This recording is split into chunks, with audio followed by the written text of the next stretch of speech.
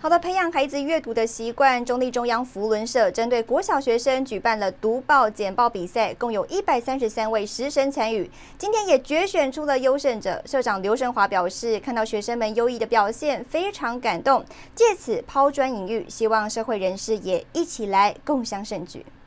呛植物的三十天它会枯萎，这代表了我们霸凌对任何物品的影响。在九十分钟内要完成读报、简报、撰写心得及画上插图，并及时发表简报心得内容。由国际福伦三五零一地区中立中央福伦社主办的简报比赛，现场有一百三十三组青师生共同参与，最后选五位特优者进入总决赛。之前每天。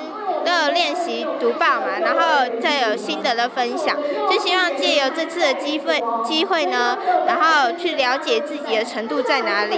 班上的小朋友读报时间已经相当长了，大概从五年级到现在持续在读《大纪元时报》。那平常《大纪元时报》有很多积极正向的报道，那小朋友都很喜欢。